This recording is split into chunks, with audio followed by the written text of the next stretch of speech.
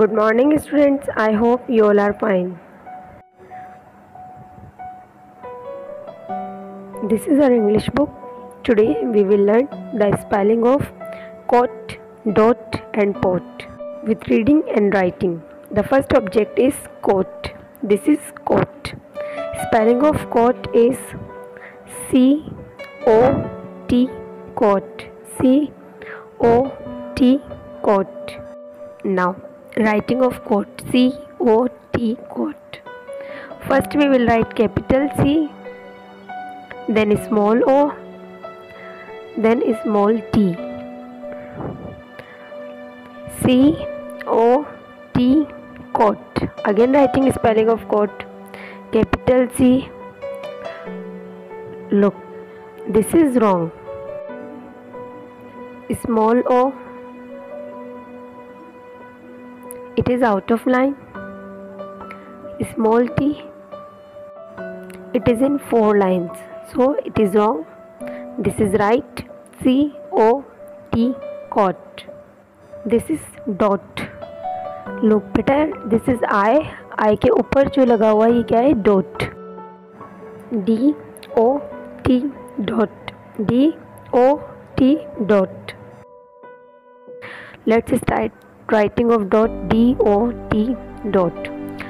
First we will write capital d.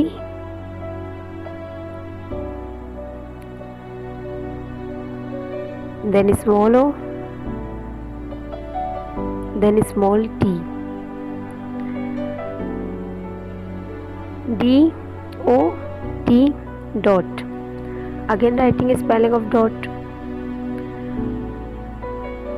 Capital d look it is out of line. Small o. It is also out of line.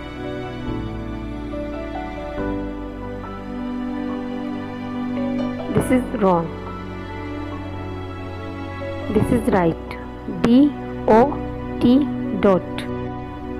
This is pot pot spelling of pot is p o t pot P O T pot.